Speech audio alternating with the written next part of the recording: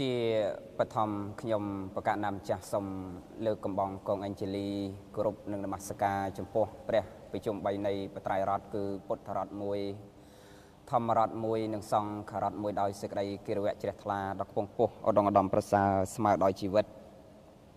សូមនមស្ការក្រាបថ្វាយបង្គំចំពោះសម្ដេចព្រះកមហាសង្ឃរាជាធិបតីទាំងពីរគណៈសម្ដេចព្រះសង្ឃនាយកសម្ដេចព្រះសង្ឃនាយករងសម្ដេចព្រះមន្ត្រីសង្ឃគ្រប់ព្រះឋានានុក្រមដោយសេចក្តីគិរវៈជ្រះថ្លានមស្ការក្រាបថ្វាយបង្គំចំពោះព្រះអង្គគ្រូព្រះញាណវង្សព្រះមេគុណរាជធានីភ្នំពេញនមស្ការក្រាបថ្វាយបង្គំកណាគុណចាស់គ្រប់គ្រប់ព្រះអង្គទៅក្នុងនិងក្រៅប្រទេសសូមចម្រើនពរចំពោះសម្ដេចទ្រង់អាដាមលោកជំទាវញាតិញោមពុទ្ធបរិស័ទសាធុសពរោះប្រុសស្រីទាំងអស់ដែលឡែកថ្ងៃនេះខ្ញុំបកណាធម៌ភាព មានឱកាសដើម្បីចូលរួមចំណែកក្នុងការរដ្ឋនីនៅពុទ្ធវាទរបស់ព្រះដែលមានពភាកមកសម្ដែងប្រគេននិងចែកជូនកណាគុណចាស់ញោមញាតប្រុសស្រីទាំងអស់បានព្រះសម្ដាប់និងស្រាប់យកនៅចំណែកផលនិសង្ឃទៅតាមនិស័យជ្រះថ្លាគ្រប់គ្រប់ព្រះអង្គនិងគ្រប់គ្រប់គ្នាថ្ងៃនេះដែរខ្ញុំបកណាធមភាពនឹងលើកយកនៅប្រធានបទបន្តអំពីគុណចាស់ដែលព្រះអង្គសម្ដែងកាលពីម្សិលមិញញាតិញោមបានស្រាប់ហើយ ថ្ងៃនេះមកនឹងលើកអំពីផលនៃការស្ដាប់ធម៌ណាហើយនឹងការការៈណាផលប្រយោជន៍នៃការស្ដាប់ធម៌ហើយយើងស្ដាប់ដោយសេចក្តីគោរពទទួលបានផលប្រយោជន៍អីខ្លះណាស្ដាប់ដោយមិនមានសេចក្តីគោរពមកចំណាយពេលវេលាស្ដាប់ដូចគេដែរណាតើយើងមិនទទួលបានផលប្រយោជន៍អីខ្លះ លក្ខណៈនៃការស្ដាប់ធម៌នឹងមានលក្ខណៈផ្សេងផ្សេងគ្នាយ៉ាងម៉េចខ្លះសម័យពុទ្ធកាលគេស្ដាប់ធម៌ដោយរបៀបណាសម័យបច្ចុប្បន្នយើងនេះយើងស្ដាប់ធម៌ដោយរបៀបណាមានលក្ខណៈខុសគ្នាយ៉ាងណាហើយលទ្ធផលនៃការស្ដាប់ពធដោយសេចក្តីគោរពនឹងតើយើងទទួលបានផលប្រយោជន៍អីខ្លះដែលញាតញោមចំណាយពេលវេលាកណាគុណចាស់គ្រប់ព្រះអង្គដោយខ្ញុំកណាជាឧទាហរណ៍ដែលបួស22ឆ្នាំមកហើយនេះ តើយើងសិក្សាធម៌យើងរៀនធម៌យើងបដិបត្តិធម៌នឹងយើងខំប្រឹងស្ដាប់ធម៌យើងខំប្រឹងរៀនធម៌បន្តពីគ្នាសិក្សាពី3ដកខ្លះយើងស្ដាប់តពីគ្នាខ្លះនឹងតើវាទទួលបានផលប្រយោជន៍អីខ្លះបានយើងលះបង់ណាពេលវេលារបស់យើងដែលមានតម្លៃក្នុងការប្រកបមុខរបរចំនួនជួញដូរចិញ្ចឹមជីវិតដើម្បីបានមកស្ដាប់ពធណាខំចំណាយពេលវេលាដើម្បីស្ដាប់ធម៌នេះការស្ដាប់ពធដោយសេចក្តីគោរពនេះ រមែងទទួលបានផលអានិសង្សបើនិយាយពីប្រយោជន៍បច្ចុប្បន្ននេះវិញញោមបាទព្រះសម្មាសម្ពុទ្ធបរមគ្រូជាអង្គម្ចាស់នៃយើងព្រះអង្គទ្រង់ត្រាស់ប្រកាសសម្ដែងថាណាព្រះធម៌នេះជាឱសថណាសម្រាប់ព្យាបាលរោគចិត្តរបស់យើងនេះផងព្រះធម៌នេះជាឱសថណាសម្រាប់ព្យាបាលនៅរោគកាយយតុចរិតរបស់យើងនេះឲ្យទៅជាកាយសុចរិតផងវច័យទុច្ចរិតនេះឲ្យទៅជាវច័យសុចរិតផងមโนទុច្ចរិតនេះឲ្យទៅជាមโนសុចរិតផង ព្រះធម៌រមែងញ៉ាំងសัตว์ណាដែលប្រព្រឹត្តបដិបត្តិដើរតាមណាកិច្ចផុតពីសេចក្តីវិនិច្ឆ័យឲ្យរកភាពចម្រើនកិច្ចផុតពីសេចក្តីទុក្ខឲ្យទៅរកសេចក្តីសុខណាព្រោះព្រះសម្មាសម្ពុទ្ធព្រះអង្គទ្រង់ត្រាស់សម្ដែងថាហើយបើនិយាយពីការធ្វើបុណ្យឲ្យទានវិញគ្មានទានអីជាងណាបានផលឡានិសង្ឃច្រើនជាងធរនឹងទីទេពីប្រុសញោមញាតប្រុសស្រីធ្លាប់ស្ដាប់រឿយរឿយប្រសងលោកច្រើនតែសម្ដែងថាសព្វទាននឹងធម្មទាននឹងជានិតិនោះ ធម្មទានរមែងឈ្នះអស់ទានទាំងពួងសัพពរៈសង្ឃធម្មរស់សោជានិតិរស់អ្វីលើโลกនេះឲ្យប្រសើរស្មើនឹងរស់នៃពធអត់មានបងណាធម្មោហវេរកតិធម្មចារឹងណាព្រះធររមែងរក្សានៅបុគ្គលដែលប្រព្រឹត្តបដិបត្តិធរណាឃើញទេធម្មជោតិព្រះធរក៏ជាពន្លឺប្រៀបហាក់បីដូចជាប្រទីបសម្រាប់ត្រូលបំភ្លឺនៅសัตว์ដែលមានមោហៈអវិជ្ជាមិច្ឆាទិដ្ឋិយល់ឃើញខុស ដោយសារមោហៈអវិជ្ជាជាឫសគល់បាត់បាំងនាំឲ្យសត្វនោះមិនមើលឃើញនៅកុសលធម៌មើលមិនឃើញនៅផ្លូវទៅកាន់ទីរលត់ຕົកជាដើមមើលមិនឃើញនៅហេតុដែលនាំខ្លួនឲ្យទៅកាន់សេចក្តីចម្រើននិងសេចក្តីសុខជាដើមដល់ឲ្យបានស្ដាប់សិក្សារៀនសូត្រស្វាតជាយបដិបត្តិពលត្រូវយកចិត្តទុកដាក់ស្ដាប់នយោនិសោមនសិការៈប្រកបព្រមដោយអង្គមានវិមង្សាសមាសង្កៈបៈត្រេះរេះពិចារណារកហេតុរកផលយល់ត្រូវទៅនាំឲ្យសັບនោះ ណាបច្ចុប្បន្នក៏ដល់នៅសេចក្តីចម្រើនអនាគតជាតិទៅមុខក៏រមែងទទួលបានផលច្រើនណាប៉ុន្តែហ្នឹងដោយសារយើងស្ដាប់ដោយសេចក្តីគោរពដោយយើងយល់ដឹងហើយយើងបានបដិបត្តិពលត្រូវទេណាទើបយើងកើតប្រយោជន៍ណាហើយតើកាលណាយើងអត់បានស្ដាប់ដោយសេចក្តីគោរពយើងមិនដែលយកចិត្តទុកដាក់យើងគ្រាន់តែយួរស្រាក់ចូលទៅវត្តពិសេសណាស់ញោមអញ្ចឹងបានអាត្មាចេះតែខិតខំប្រឹងប្រែងរយៈកាលច្រើនឆ្នាំមកហើយតាំងពីមិនទាន់ចេះផ្សព្វផ្សាយតាមវិទ្យុអាត្មាខំប្រឹងរកវិធីសាស្ត្រ ធ្វើម៉េចដើម្បីឲ្យញោមបញ្ជ្រាបញោមឲ្យបានស្ដាប់យល់ដឹងនៅក្នុងពុទ្ធវចនៈណាពីមុនមកពីឆ្នាំកៅជាងអាត្មាចាក់តកសែតតាមមេក្រូតាមអីដើម្បីបញ្ជ្រាបញាតិញោមឲ្យយល់អំពីពុទ្ធវចនៈយល់អំពីរបៀបក្នុងការធ្វើបុណ្យ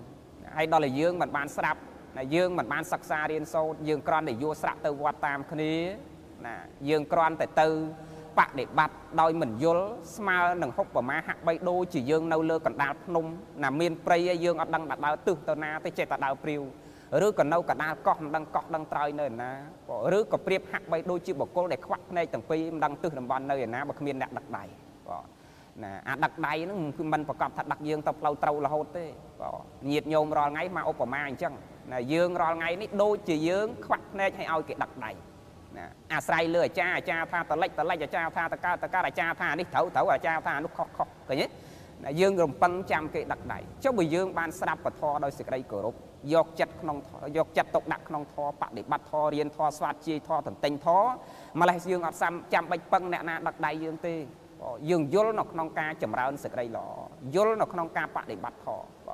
មកមើលញាតញោមសំណោះណាស់ពេលខ្លះដែលយើងទៅធ្វើបន់យើងចំណាយពេលវេលាផងចំណាយថវិកាផងហើយខាតទាំងបន់កុសលអត់សូវបានច្រើនទៀតណាហេតុអីបានមកថាអញ្ចឹងមកពីមិនយល់យើងអត់បានស្ដាប់អត់បានសិក្សាខាតប្រយោជន៍បច្ចុប្បន្នផងខាតបន់កុសលផង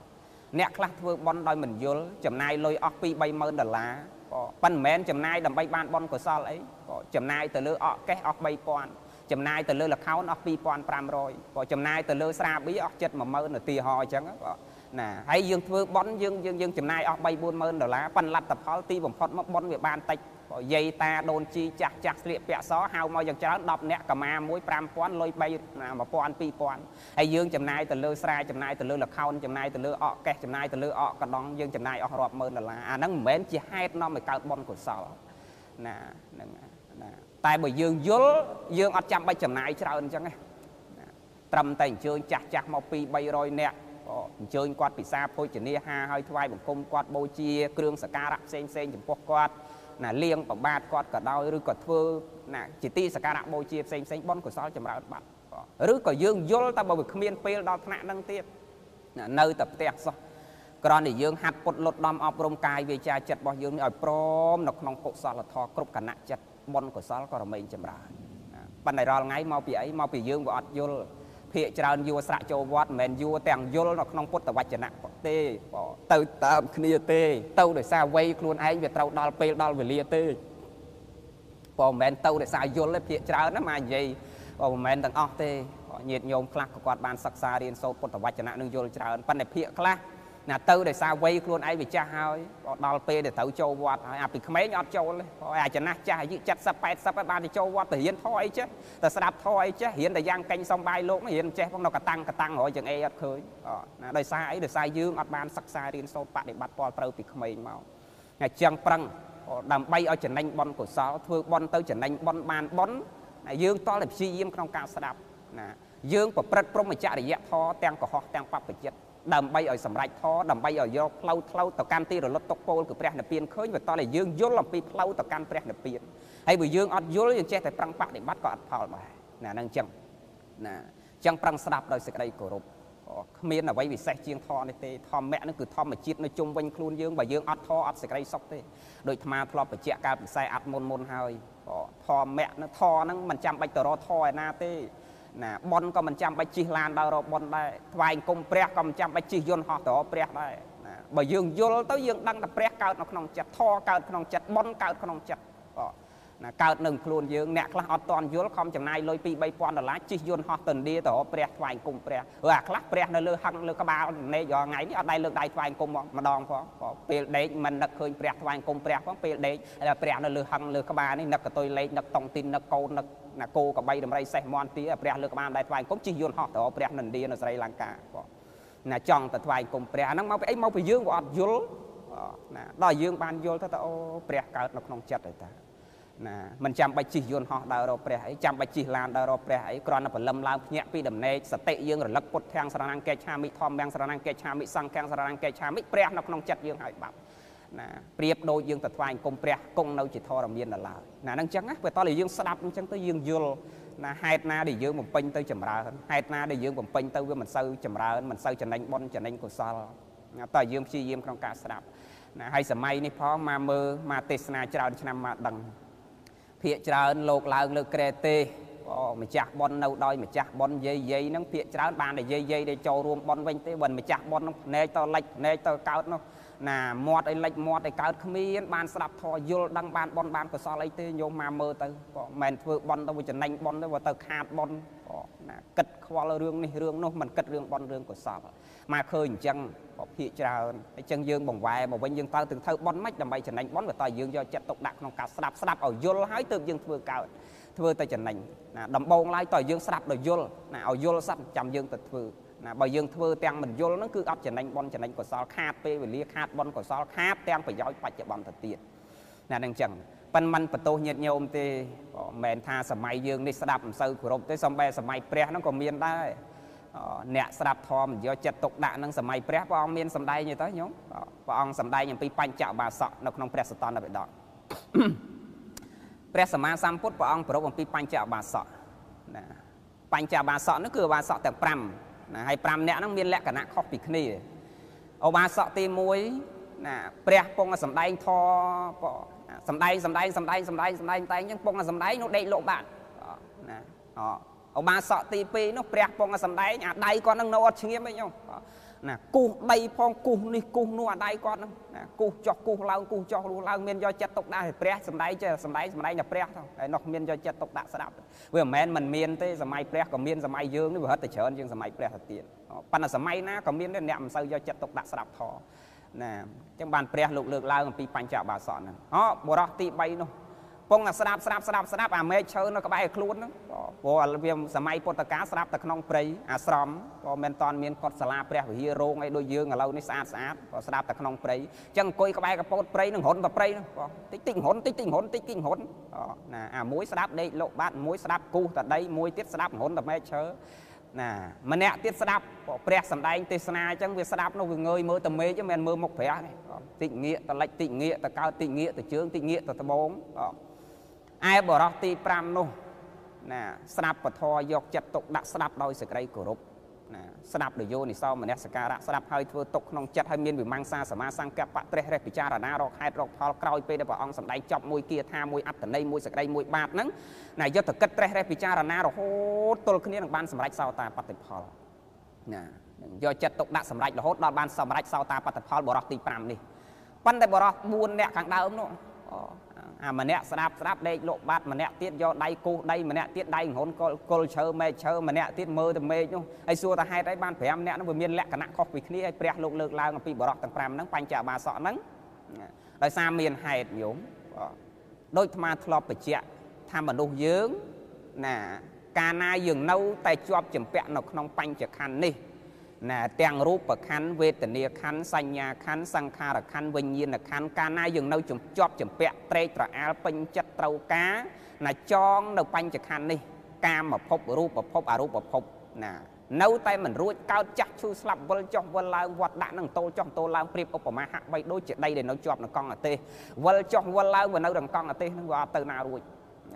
យ៉ាងណាមិញអ្នកទាំង4នឹងដូចគ្នាដែរកើតចាស់ឈឺស្លាប់កើតចាស់ឈឺស្លាប់ ប៉ុន្តែមិនមែនកើតជាមនុស្សឲ្យបានមកមនុស្សទៀតទេមុនពេលគាត់មកណា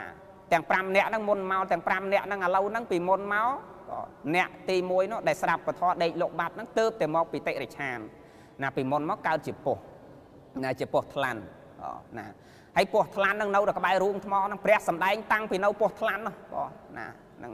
ចេះស្ដាប់ធរតាំងពីនៅពោះថ្លាន់មកស្ដាប់ស្ដាប់បានបន្តិចដេកលោកបាត់រហូតរួចកំណើតពីតិរិឆានមកកើតជាមនុស្សហើយវានៅសល់អសញ្ជាតិណាពីពោះនោះបានមកឥឡូវហ្នឹងស្ដាប់ស្ដាប់ដេកលោកបាត់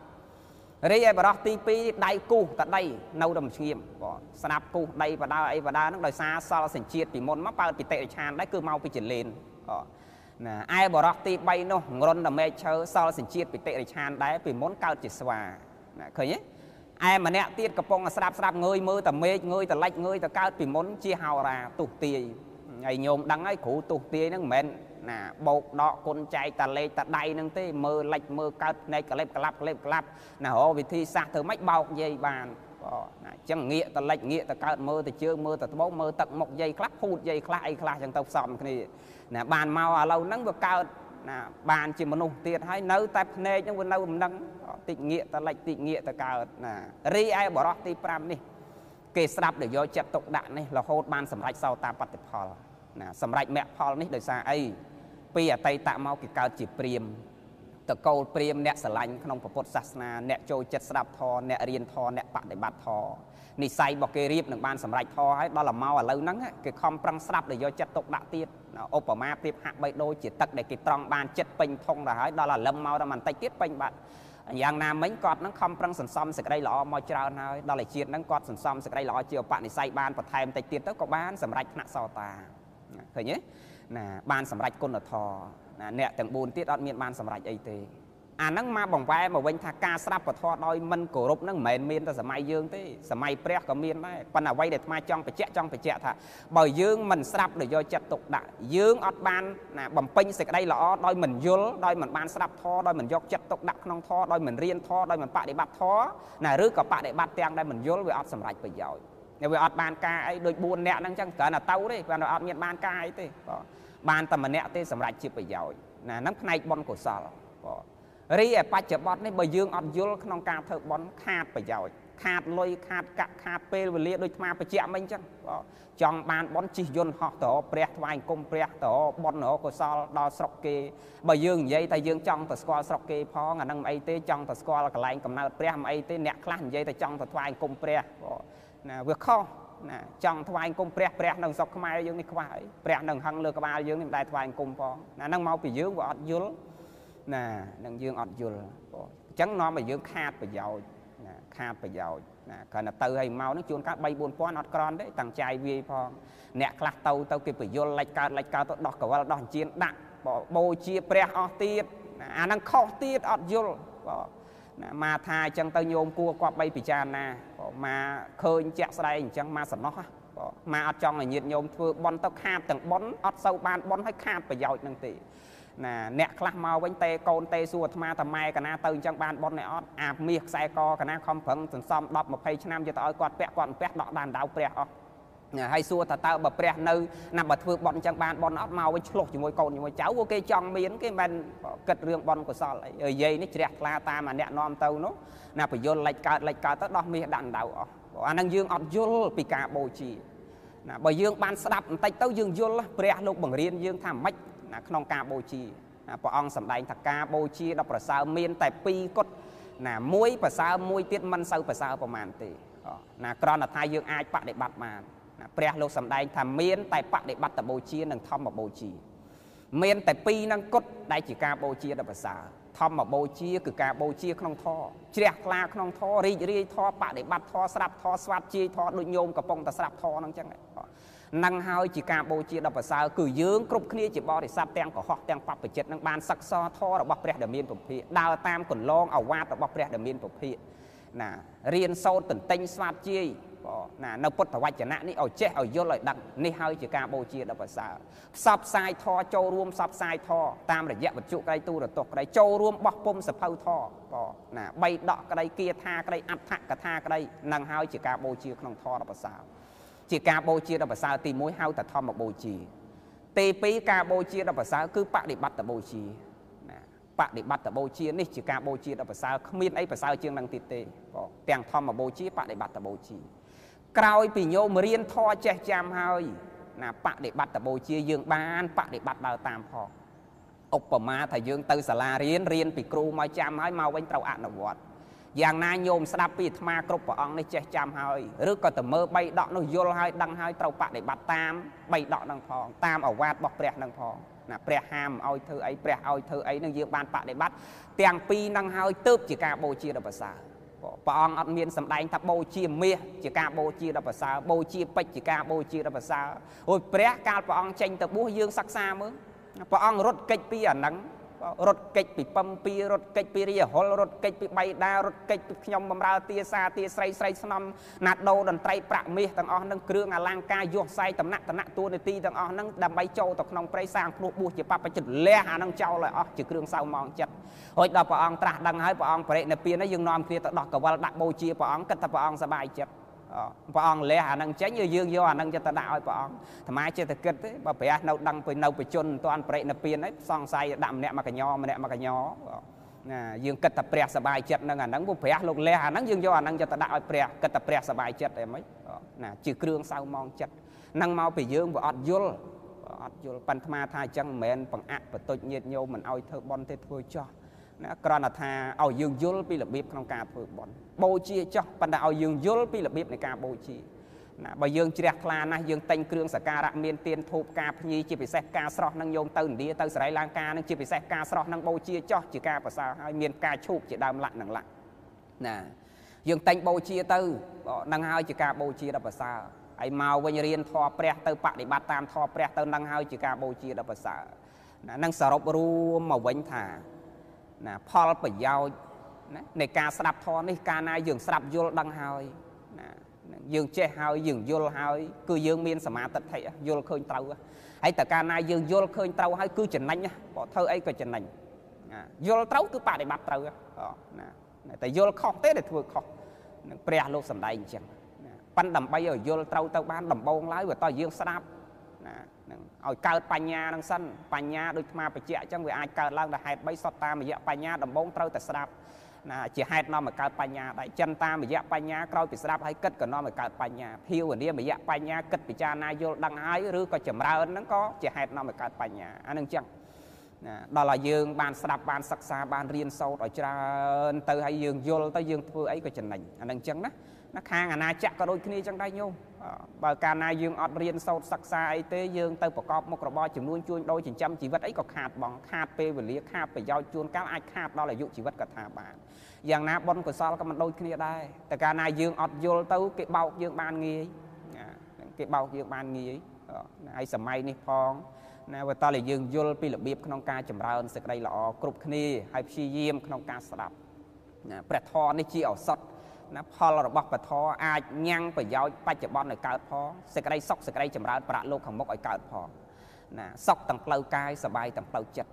ហើយពធនឹងហើយជាឱសថសម្រាប់ព្យាបាលរោគកាយអាក្រក់របស់រឿងរោគបច្ច័យអាក្រក់របស់យើងរោគចិត្តអាក្រក់របស់យើងណាព្រះលោកសំដែងទៅធម្មោអោសថោគ្មានអីពិសេសជាងធរនឹងទៀតទេពិសេសណាស់ធរនេះដែលយើងគួរគប្បីព្យាយាមក្នុងការចំណាយពេលវេលាក្នុងការស្ដាប់លះកាត់ពេលវេលាក្នុងការស្ដាប់ ណាមិនបានព្រះលោកថាណាធម្មោអោសថោប្រធរជាឱសថណាឱសថនៅត្រង់ណាយើងឈឺក្បាលយើងមានថ្នាំឈឺក្បាល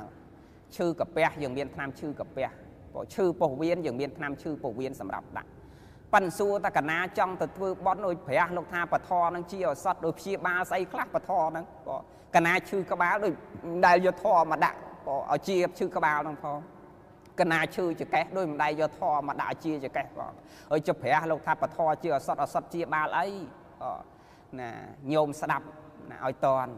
ព្រះធម៌ជាឱសថនេះព្យាបាលរោគ3របស់យើងរាល់ថ្ងៃនេះធំធំរោគក្នុងខ្លួនញោមក៏កើតរោគហ្នឹងអាត្មាអ្នកទេសក៏កើតរោគហ្នឹងគ្រាន់តែអ្នកខ្លះកើតតិចអ្នកខ្លះកើតច្រើនប៉ុណ្ណឹងប៉ិនបើថាអត់រោគហ្នឹងអត់មានទេណាទូទាំងពិភពលោកនេះឲ្យតែកើតជាមនុស្សមានរោគ3ហ្នឹងទាំងអស់អញ្ចឹងត្រូវយកឱសថគឺពធហ្នឹងមកព្យាបាលរោគ3ហ្នឹង រោគ3ហ្នឹងស្អីខ្លះទី1រោគទី1គឺរោគតោសៈរោគទី2គឺរោគលោភៈរោគទី3គឺរោគមោហៈជំងឺ3នេះឈឺគ្រប់តែគ្នាហើយកាលណាឈឺជំងឺ3ហ្នឹងហើយអត់មានយកឱសថនៅរាល់ថ្ងៃនេះតាមហ្វាមស៊ីតាមហ្វាម៉ាតតាមដុកទ័រណាគេផ្សំដាក់ឲ្យជាបាលជំងឺ3ហ្នឹងជាអត់មានទេញោមអត់តរឱសថណាព្យាបាលជំងឺ3ហ្នឹងជាទេមានតែធរមួយគត់ជាឱសថសម្រាប់ព្យាបាលជំងឺ3អាត្មាថាមិញ ជំងឺទី1ជំងឺតោសៈជំងឺទី2ជំងឺលោភៈជំងឺទី3ជំងឺមោហៈជំងឺ3ហ្នឹងអត់មានថ្នាំព្យាបាលទេមានតែធរមួយគត់ជាឱសថណាទី1ជំងឺតោសៈញោមក៏ឈឺអាត្មាក៏ឈឺ ឯញោមខ្លះទៅចុះលោកគ្រូនៅតែវត្តសោះចេះឈឺតោសៈអីដែរចេះខឹងក្រោតអីដែរនៅតែវត្តសោះថានៅតែវត្តវាគ្មានប្រពន្ធធ្វើឲ្យខឹងកូនធ្វើឲ្យខឹងចៅធ្វើឲ្យខឹងញាតធ្វើឲ្យខឹងមែនតាមស្រួលនៅក្នុងវត្តហ្នឹងដូនជីនៅក្នុងវត្តធ្វើឲ្យមិនទាស់ចិត្តខឹងដូនជីហ្នឹងលោកនេនក្នុងគាត់ជេរលោកនេនហ្នឹងខឹងលោកនេនហ្នឹងឃើញទេនៅវាខឹងដូចគ្នាក៏តែតិចអីច្រើនអូណាហ្នឹងប៉ិនបើថាអត់ខឹងអត់ទេឈឺដូចគ្នាជំងឺហ្នឹងណាគ្រាន់តែតិចអីច្រើនគ្រាន់តែថាលោកវាមានធម៌អប់រំចិត្តវាមិនសូវកើតទោសៈនឹងញឹក ណាប៉ុន្តែញាតញោមដែលយើងនៅផ្ទះនេះយើងប្រឈមមុខណាខឹងប្តីណាខឹងកូនណាខឹងញាតណាខឹងមន់ណាខឹងទាណាខឹងនេះណាខឹងនោះហើយចាំបើយើងខឹងញឹកយ៉ាងហ្នឹងសេចក្តីសុខមិនមានហើយចាំបើចង់ឲ្យបាត់ខឹងទៅត្រូវយកថ្នាំអីទៅព្យាបាលគឺឱសថនៃបធរនេះគ្រាន់តែថាវាបែងចែកខុសគ្នាឧទាហរណ៍តែយើងឈឺជំងឺតោសៈណាធរអីយកទៅព្យាបាលជំងឺតោសៈ ណាដឹងអាធរហ្នឹងជាឱសថហើយប៉ុន្តែយើងត្រូវបែងចែកឲ្យច្បាស់ឧទាហរណ៍តែឈឺកាពះវាមានថ្នាំឈឺកាពះណារាកទៅវាមានអូរីអូសម្រាប់បំបត្តិរាកឈឺក្បាលវាមានថ្នាំឈឺក្បាលយ៉ាងណាធរហ្នឹងក៏ជាឱសថឱសថហ្នឹងបែងចែកដូចគ្នាឧទាហរណ៍យើងឈឺជំងឺទី1តោសៈយើងយកថ្នាំអីព្យាបាលបងណាឈឺជំងឺទី1នេះព្រះលោកឲ្យយកណាថ្នាំ2គ្រាប់ណាញោមស្ដាប់ណាថ្នាំ2គ្រាប់របស់ព្រះបងណាថ្នាំ2គ្រាប់ហ្នឹងទី1ខន្តីទី2សោរញ្ចៈបង ហើយយើងលេបថ្នាំពីរគ្រាប់ហ្នឹងក៏ត្រូវមានទឹកដែរឧបមាទៅដូចយើងលេបថ្នាំរាល់ថ្ងៃនេះមកនិយាយធေါ်ងាយងាយយើងស្ដាប់ទៅយើងពិចារណាយល់យើងលេបថ្នាំរាល់ថ្ងៃនេះក៏យើងត្រូវការទឹកមករួមជាមួយយ៉ាងណាថ្នាំឱសថព្រះហ្នឹងក៏មានទឹកលេបជាមួយថ្នាំហ្នឹងដែរទឹកកែវទី1ទឹកមេតាកែវទី1ទឹកករណា កែវទី3សន្តោសៈលេបថ្នាំព្រះពីរគ្រាប់ហ្នឹងត្រូវលេបទឹក3កែវទៅជាមួយផងបានអាចព្យាបាលជំងឺទូស័កនេះបានទូស័កនេះបាន ណាជំងឺឆ្នាំទី1ខន្តីមើលតដៃនឹងហ្មងនឹងវាយគេអត់ធន់ អូអញវាយទៅប្រពន្ធអញបែកក្បាលហើយសួរឈឺអាណាឈឺប្រពន្ធអញណាហ្មងលើកដៃវាយពីងទឹកអូអញវាយពីងទឹកបែកខ្ទេចទៅសួរថាខាតអាណាខាតអញអូណាសតិនឹងរលឹកផ្លែតខន្តីកើតភ្លាមក្នុងគណៈហ្នឹងឃើញទេណាសោរញ្ចៈស្ងប់ស្កាយស្ងប់វិចាស្ងប់ចិត្តមិនជេរមិនបចោមិនវាយមិនដំមិនទាត់មិនធាក់ក៏នឹងហើយសោរញ្ចៈស្ងប់កាយស្ងប់វិចាស្ងប់ចិត្តសង្រួមរវាងប្រយ័ត្ន ណាហ្នឹងហើយមុននឹងលេបឆ្នាំពីរហ្នឹងពេលលេបហើយត្រូវយកអាទឹក3កែវហ្នឹងមកដាក់ទៀតមេតា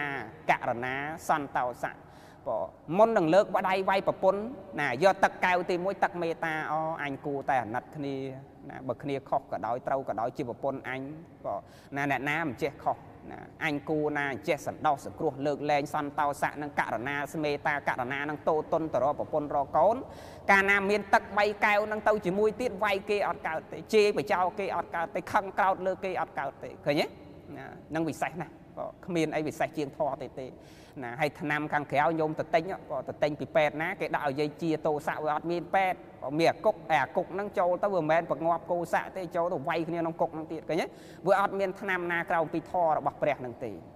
អញ្ចឹងហើយបានជាអាត្មាបញ្ជាក់ថាណាព្រះសម្មាសម្ពុទ្ធព្រះអង្គសម្ដែងធម្មោអោសថោផលប្រយោជន៍របស់ធរហ្នឹងមានគុណតម្លៃណាស់ ណាមានច្រើនបែបច្រើនយ៉ាងទៅទៀតបដិយោងពេលវេលាខ្សែអាត់ទី1នេះថ្មក្រន់តែចង់បញ្ជាក់ត្រុសត្រុសខាងដើមណាផលប្រយោជន៍យ៉ាងម៉េចខ្លះនៅបន្តទៅមុខទៀតដែលយើងគួរគប្បីពិចារណាកាលណាយើងឈឺណាយើងស្ដាប់ដោយសេចក្តីគោរពយល់ដឹងហើយមានបញ្ញាសមាទិដ្ឋិហើយធម៌នឹងរក្សាយើងវិញហើយធម្មោហវេរកតិធម្មចារឹងអ្នករក្សាធម៌អ្នកបដិបត្តិធម៌ធម៌រក្សាបុគ្គលនោះវិញ កាលណាយើងរៀនធម៌សិក្សាធម៌សាទាយធម៌បដិបត្តិធម៌យល់ធម៌ដើរតាមធម៌ឲ្យធម៌រក្សាបុគ្គលនឹងឲ្យដល់នៅសេចក្តីសុខដល់នៅសេចក្តីចម្រើនទាំងបច្ចុប្បន្នរហូតប្រាក់លោកខាងមុខបច្ចុប្បន្នក៏ចំណេញប្រយោជន៍ណាហ្នឹងហើយมันខាតបងប្រយោជន៍យល់ដឹងហើយធ្វើអីក៏ចំណេញទៅប្រាក់លោកខាងមុខក៏រមែងចម្រើនបុណ្យចម្រើនកុសលណាទៅដាក់ដល់ទីឋានបរមសុខសុខពោល của ព្រះនិព្វានឬមួយក៏ទៅមនុស្សស័កសម្បត្តិតឹងចាក់ទៀតឬក៏ទៅទេវៈស័កសម្បត្តិតឹងចាក់ទៀតធ្វើបុណ្យចំណេញបុណ្យ ណាធ្វើអីចំណេញហ្នឹងដោយសារយើងបានយល់ដឹងយល់តាមរយៈអីយល់តាមរយៈការស្ដាប់ណានឹងស្ដាប់ទៅធររក្សាយើងយ៉ាងម៉េចក៏ដូចធរអាត្មាបច្ចៈមិញថាជាឱសថព្យាបាលជំងឺធំ3របស់យើងគ្រប់គ្នាតោសៈមោហៈលោភៈនេះបណ្ដយោងតាមពេលវេលាយើងយល់ថាជំងឺទី1ថ្ងៃហ្នឹងយល់ជំងឺទី1ជំងឺតោសៈយើងលេបថ្នាំ2គ្រាប់ណាថ្នាំគ្រាប់ទី1ថ្នាំខន្តីគ្រាប់ទី2សោរញ្ចៈ ទឹកលេបជាមួយ3កែវគឺទឹកមេតាមួយទឹកករណាមួយទឹកសន្តោសៈមួយសង្ឃឹមតែញាតញោមប្រុសស្រីទាំងអស់ឈឺជំងឺតោសៈទី1នេះយកថ្នាំពីរគ្រាប់របស់ព្រះនឹងទៅលេបឲ្យទឹក3កែវនឹងរួមជាមួយផងលេបជាមួយនឹងទឹកនឹងថ្នាំនឹងហើយប្រព្រឹត្តបដិបត្តិពលត្រូវទៅលេបឲ្យត្រូវតាមស្តង់ដារអញ្ចឹងទៅណាប្រព្រឹត្តបដិបត្តិទៅនឹងចំណេញប្រយោជន៍ចំណេញបនចំណេញកុសលបាននៅសេចក្តីសុខសេចក្តីចម្រើនទាំងបច្ចុប្បន្ននេះរហូតប្រាក់លោកខមុកយោងតាមពេលវេលាប៉ុណ្ណឹងចោះសូមថ្វាយប្រគេនពរ ណាបុណ្យកុសលដែលកើតអំពីធម្មទាននេះវេលាថ្ងៃថ្ងៃនេះណាថ្វាយចំពោះសម្ដេចជាអង្គម្ចាស់គ្រប់ព្រះអង្គប្រកាសណាគុណចាស់គ្រប់ព្រះអង្គជូនបុណ្យជូនកុសលញាតិញោមប្រុសស្រីទាំងអស់ប្រកាសណាគុណចាស់ប្រមុខថ្នាក់ដឹកនាំនៃរាជរដ្ឋាភិបាលមានសម្ដេចអគ្គមហាសេនាបតីតេជោហ៊ុនសែននាយករដ្ឋមន្ត្រីនៃប្រជាជាតិកម្ពុជាសម្ដេចណាលោកជំទាវកតិព្រឹទ្ធបណ្ឌិតប៊ុនរនីហ៊ុនសែននិងប្រមុខថ្នាក់ដឹកនាំតាមក្រសួងអង្គការស្ថាប័នរដ្ឋនិងឯកជនទាំងអស់ណាទាំង ណា